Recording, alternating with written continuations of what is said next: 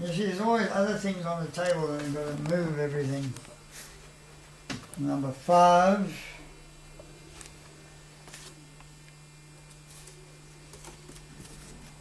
Oh no. So I've got Prestik stuck, it's all stuck down, you see. Because Prestik. The horses fall over all the time. See, I've got bridles on the horses. I put bridles on. You see it there? Out of cotton, coloured cotton. I made bridles and I linked the horses together, and the reins are there, and the harnessing and the and the bar that harnesses it to the actual tram. You see? Right?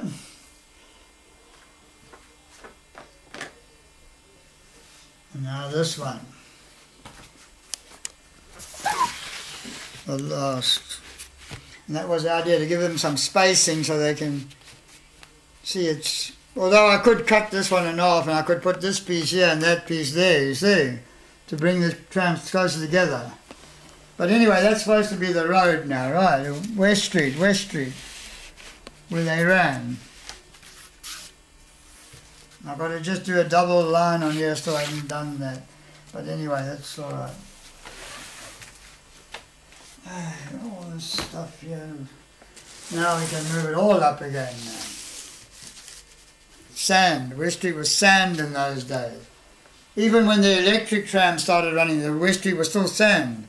And they had the water car. They had a tram car with a tank on it. And the focus is automatic, isn't it?